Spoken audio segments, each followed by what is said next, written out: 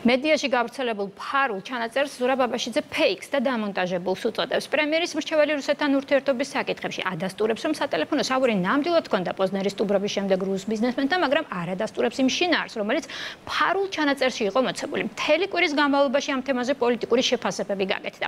ოპოზიცია აცხადებს, რომ საუბრის შინაარსი კიდევ ერთხელ ადასტურებს მათ მიერ გახმიანებულ ბრალდებას ხელისუფლების მჭიდრო ურთიერთობაზე რუსეთთან.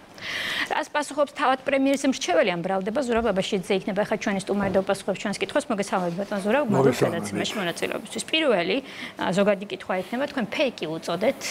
ამ ჩანაწერს მოდით პირველ რიგში გითხარით რატომ რა არისო სწორად გადმოცემული ამ ფარულ ჩანაწერში?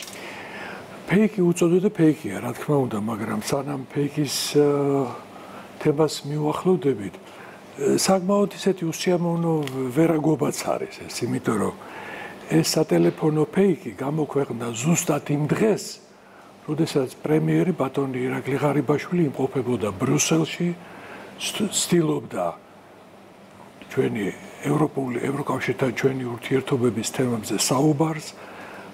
ამის შესახებ ჩვენ კარგად ვიცით, თუ ნაბიჯები გადაიდგა იქ, როგორც ცდილობს ხელისუფლება რომ რაღაცნაირად ეს თემა იყოს წინ წასეული ზუსტად აი იმ დღეს გამოქვეყნდა გამიზნული იყო ეს რა თქმა უნდა, რა თქმა უნდა. ბატონო, ეს პირველი შემთხვევა არ არის, როდესაც თქვენთან დაკავშირებით და ვის ვისი მხრიდან ხდება ეს მედიაში ესე გახსნა? პირველი შემთხვევა არის და იქნება კიდე, იმიტომ რომ ასეთი სატელე მე რაღაც საიდუმლო საუბრები არავისთან არ მქონია. შეეულო საუბრობ ჩვეულებრივი ღია ხაზით.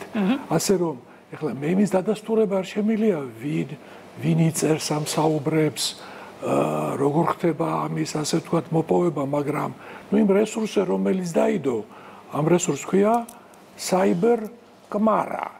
ნუ ამ ამ კმარით შეიძლება გაცმა ივარაუდოვის ინტერესებშია ეს.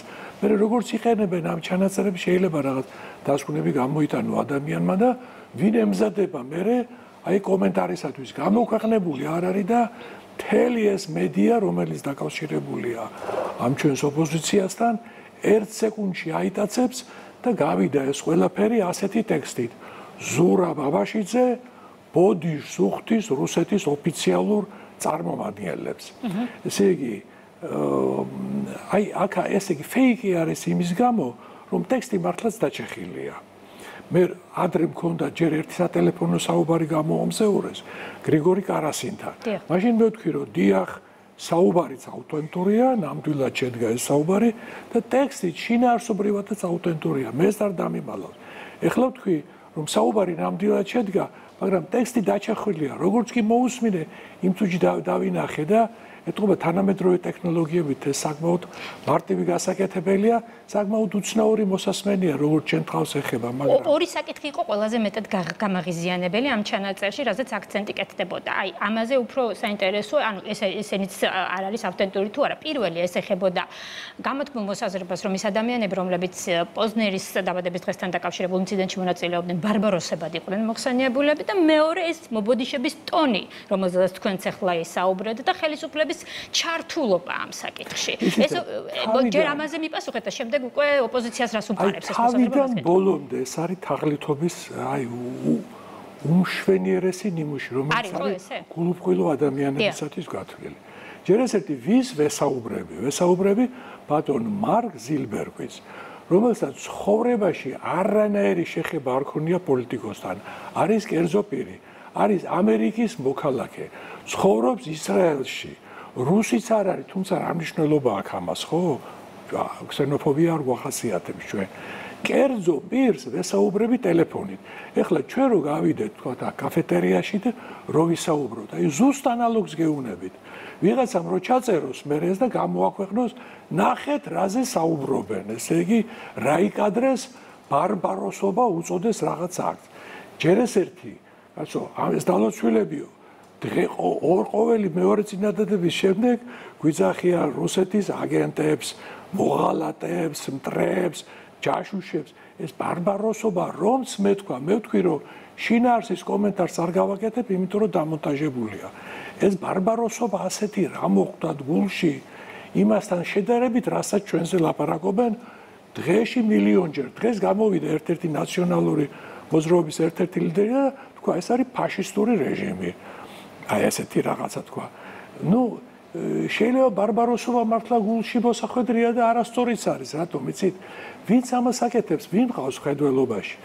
როდესაც ამ ჩემს კოლეგასთან მეგობართან სხვათა შორის საქართველოსთან ძალიან კარგი ურთიერთობა აქვს ამ მარკ ზილბერგვის ის ჩამოვიდა იფიქრა კარგ საქმეს აკეთებდა ამ პოზნერის დაბადების დღეზე მაგრამ რა თქმა უნდა ვერ გათვალეს მე დიდი შეცდომა დაუშვეს როდესაც каранტინი იყო ჩვენს უყველა სახლებში ვისხედით და ამათმა პურმარელი გამართეს каранტინის დროს აი მე ამას უხსნიდი სატელეფონის საუბარში რომ მარკ ამის გაკეთება არ შეიძლებოდა.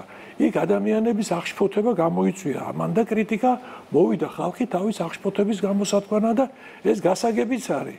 თქვენ რატომ უნდა ქონოდათ ამის იმედი მეუნება არ ვიცოდი არ ვიცოდი მაგრამ საქმე რაშია ეხლა იმ ხალხის ხალხთა იმ ჯგუფში ადამიანებისა რომლებიც იქ მივიდნენ პროტესტის გამოსახატავად იმ წუთში გამოხდა ნაციონალური მოძრაობის ერთ-ერთი რადიკალური გუნდი რომლებაც ხელში აიღეს ეს სიტუაცია დაიწყეს ქვების როლა, კვერცხების როლა, რაც არანაირ წესებში და არავინაირ ნორმებში არ ჯდება. აი იქ ამ კონტექსში არის ნახსენები ვიმეორე ვემიჯნები მე იმიტომ იმ დაჩეხილ ტექსტ მაგრამ ბარბაროსობას რატომ მოხვდათ ასე გულში ვიმეორებ იმ გაუთავებელ ლანძღვასთან შედარებით რა ჩვენ გველის ვესმის ყოველდღე? ვესაუბრები კერძო პირს სამზარეულოში რო გისაუბრია შენ მეგობართან ან შენ ახლობელთან. გასაგებ, ეხა მეორე ნაწილი, სადაც მობოდიშებაზე არის საუბარი. მობოდიშებაზე, მობოდიშების ტონზე და ხელისუფლების წარმომადგენლებზე არის საუბარი. აი, ოპოზიცია ამბობს, რომ სწორედ ეს იყო მათთვის სიმპტომატური იმ ბრალდებების დასამტკიცებლად, რომლებსაც ისინი აღღერებენ წლების განმავლობაში ხელისუფლებისა და რუსეთის მჭიდრო კავშირების შესახებ. ორიენტაციაზე რომელზეც არის საუბარი. შეგაწყვეტ დიახ. რაშვაშია რუსეთის ხელისუფლება გიმეორებ. არც რუსეთის ხელისუფლების წარმომადგენელია. ამერიკის მოქალაქეა კაცი. ისრაელში ცხოვრობს, ხელისუფლებასთან არანაირი შეხება არ ქონია. მე მას უხსნი რომ მეგობარო, არასწორი იყო მაშინი პურმარილის გამართვა, მაგრამ ძალიან წუხარ რაც იქ მოხდა. ჩემთვის მიუღებელია ის რომ თქვენ გესროლეს ქვები, ნამდვილად მიუღებელია. ეხლა ვიც ეს გააკეთა? ვერ დავარქმევ ბარბაროსებს, იცით, იმიტომ რომ ბარბაროსობა რა ის მაინც კაცობასთან არის დაკავშირებული, რაღაც ვაჟკაცობის ელემენტი არის ბარბაროსებში და ეს ნაკლული ხალხია, ვის ესეთ რაღაცებს აკეთებს. თავის დროზე ახლა ამ ხალხმა წააგო ომი, როდესაც ძალიან დიდი კრიზისი იყო, იმ კრიზისს თავი ვერ გაართვეს. მათი ხელისუფლების დროს დაიკარგა 20% ჩვენი ტერიტორიების, მიაყოლეს კოდორის ხეობა. 15 წელი გავიდა და სიტყვა ართმულა ეს კოდორის ხეობა სად გააქრეს გადააბარეს თელი ჩვენი ეკონომიკის დიდი ნაწილი მე გააფორმეს ხელის ხელშეკრულებას ხელი დოკუმენტს ხელი მოაწერეს საერთაშორისო დოკუმენტს რომ ომი თურმე ჩვენ დაგვიწყია. ეხლა აი ესეთი პერფორმანსებით ცდილობენ რამენერად კომპენსაცია მოახდინონ იმ კატასტროფისა რაც მოუტანეს მათ 2008 წელს აი მიუვარდებიან ვიღაცა ჩაუშლიან დაბადების დღეს 90 წლის იმას რა ქვია პოზნერს ან და რაღაც ქელეხს ჩაუშლიან რუსებს და მე გაბოლენ ეკრანებზე როგორც გამარჯვებულები დავიბრუნეთ კოდორი და ეკრანებზე ასე ვთქვა ტელეკამერების წინ რუსულ ტანკებს და რომებს ჭამენ მაგრამ ნუ ეს სუპერ პერფორმანსებზე აგებული პერფორმანსებს გადავაყოლეთ 2008 წელს საქართველოს 20% მე კარგად მახსოვს რომ ომის მერე ახალი დამთავრებული იყო ომი, ასეთი კატასტროფა მოხდა და რუსთაველზე პერფორმანსები ტარდებოდა, ომი გავიმარჯვებო ვიზახოდეთ. ესე იგი და ეს ხალხი, ეს ხალხი ახლა გადმოსულია შეტევაში. მათ კი არ დაუკარგავთ 20%. ჩვენი ბრალია რაც ხდება თურმე რუსეთთან, იმიტომ რომ მე ვესაუბრები კერძო პირს, ამერიკის მოქალაქეს, ისრაელში მსხოვრებს და ეს ატელეფონო არხი და საუბრობ თურმე რახან პამიდორს ვიდით ამერიკაში რუსეთში ჩვენ დაგვიკარგავს ყველაფერი. ანუ მხოლოდ შიდა საკითხს რო არ შევეხოთ ანუ ეს რუსული ნარატივის შესახებ აქცენტი მხოლოდ საქართველოსში არ ეკეთდება რო გადავდოთ ის ჩანაწერის რომელზეც ახლა ვსაუბრობთ. ეკონომიკური ურთიერთობები ფრენების აღდგენა მართალია არ მტკიცდება მაგრამ მუდმივად საუბარი იმაზე რომ საქართველოს არის ერთ-ერთი ხელშემწყობი რუსეთისთვის სანქციების გვერდის ავლის საშუალებად, ანუ ბევრი რაღაცები.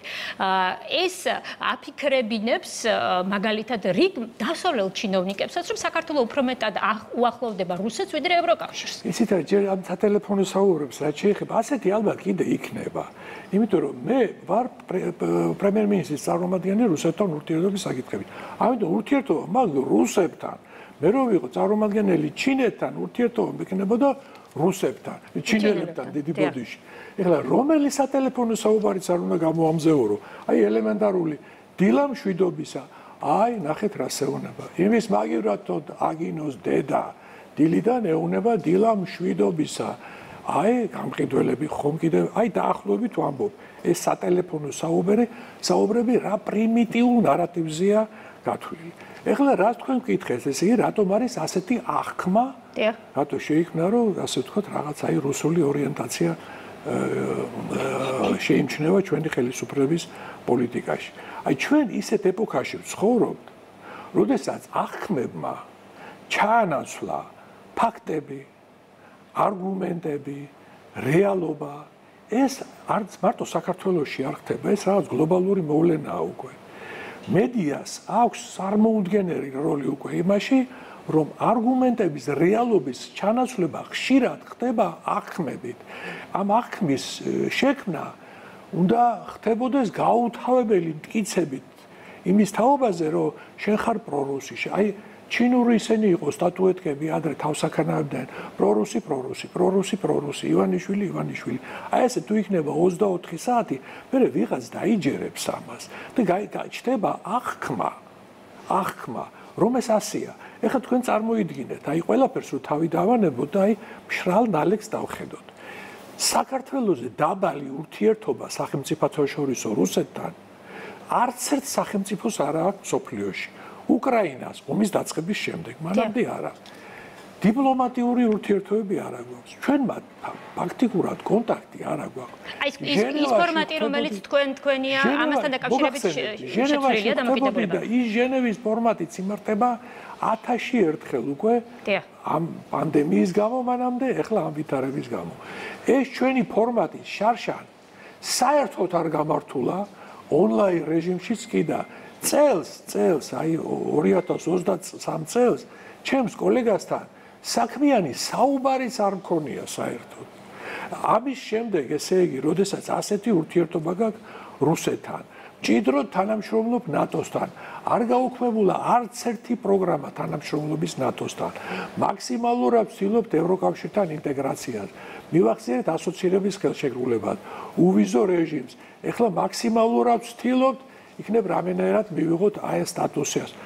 სად იკითხება ეს? გარდა იმისა, რომ 24 საათი ოპოზიცია ცდილობს შექმნას აი ეს იმიჯი გაუთავებელი აი ამ ასე ვთქვათ, ნარატივის შესახებ. აი ნარატივის მეშვეობით და არგუმენტების და რეალობის ჩანაცვლებით აღქმების შესახებ. ვიმეორებ, ეს გლობალური მოვლენაა, მარტო ჩვენთან ეს არ ხდება.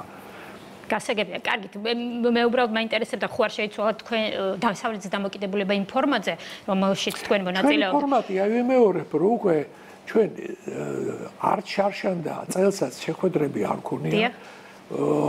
ასე რომ ამ შეხვედრების ასე ვთქვათ, რეჟიმი ახლა დაპაუზებულია. პირობითად ამას ქვია აბაშიძე კარასინი, მაგრამ ეს არის პრაღის ფორმატი, შეიძლება აბაშიძე იყოს, შეიძლება სხვა იყოს. აა ვნახოთ ყოველ შემთხვევაში მე ამ ფორმატმა თავის საქმე გააკეთა. ჩვენ სავაჭრო ურთიერთობების აღდგენის შემდეგ 5 მილიარდი დოლარის საექსპორტო პროდუქცია გავიტანეთ რუსეთში. გავათავისუფლეთ საქართველოს მოქალაქეები, რომლებიც იქ დაკავებულები იყვნენ ჯაშუშობის ბრალდებით. ძალიან სერიოზული აბიჯები გადაიდგა ამ თვალსაზრისით. ვნახოთ მომავალში რანაირად იმუშავებს და რა იქნება ამ ფორმატის შედეგიანობა გამოჩნდება. ყოველ შემთხვევაში დღემდე დღიდან დაარსების ამ ფორმატის ჩვენი დასავლელი პარტნიორები იყვნენ მუდამ ინფორმირებულები, მუდამ მათთან იყო კონსულტაციები და ქონდა ურყევი მხარდაჭერა. დიდი მადლობა. დიდი მადლობა ზურაბაშიძე იყო ჩვენი გადაცემის სტუმარი.